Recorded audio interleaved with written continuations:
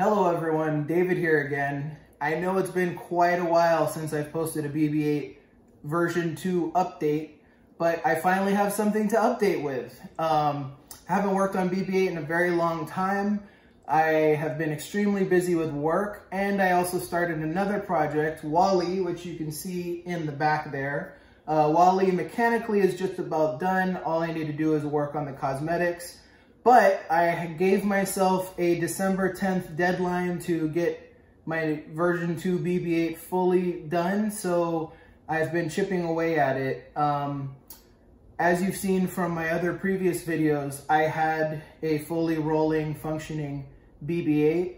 Um, the only thing is I had two limitations. One, that my drive system is 100% analog RC controlled. So there's no Arduino, there's no coding, there's nothing. It's just completely analog.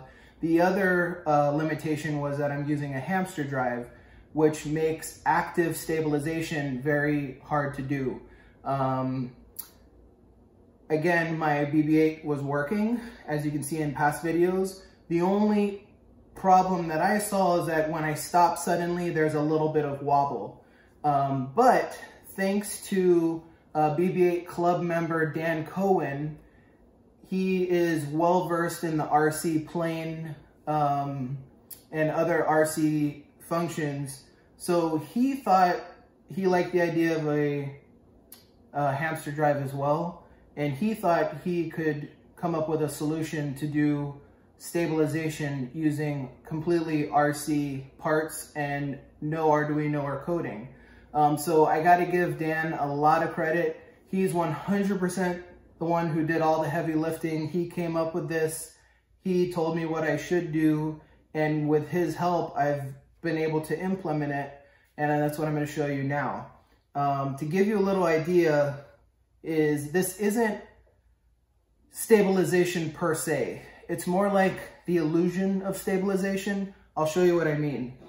So using this little BB-8, uh, in the past, if I'm rolling and I stop suddenly, I'm going to show you an exaggerated version. If I would stop suddenly, he would rock back and forth until he slowly stops. And what this will do is this will keep the head level so that when he rolls and I stop, instead of the head rocking forward, the body might move, but the head will stay on top until it's stopped. And so it will it won't look like it's wobble. It'll look like there's just a little bit of body movement, almost giving him a little bit of personality.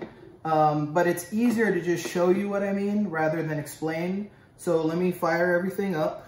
Um, first thing, I'll turn on my transmitter and okay, so the gyro is calibrating. And then once it's ready to go, I'll show you uh, the basic stuff that you've seen before. Drive forward, drive back, and left and right. Um, and then also the head, I have forward, back, right, left. But what's cool now is there's a gyro in there um, that is set to uh, V-tail setting. So it's set, it's using uh, RC airplane um, terms, but it's set to V-tail, and what that does is that communicates with the servos so that when you press forward, it knows to move both uh, servos in the same direction, and the same for back, left, and right. Um, but what happens is there's a switch now, and I'll turn this sideways so you can see. Um, and that switch, if I switch it on, then it's going to switch on stabilization.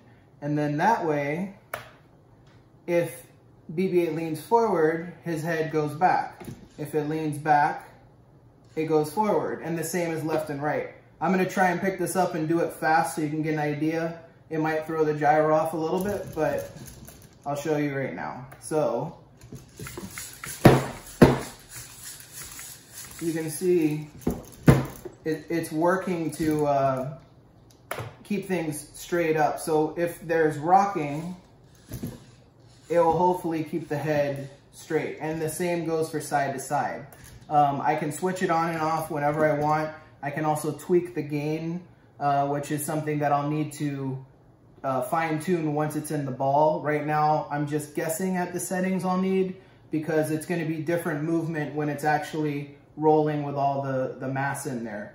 Um, so the next video will hopefully be BB-8 back in his shell with the head on and we'll do some push tests. We'll push him and see how he can balance. Um, but hopefully it'll give just enough stabilization so that the hamster drive won't look that much different than some of the more robust axle drives that are out right now. Um, again, it's just a little update, but for me, it's a huge milestone.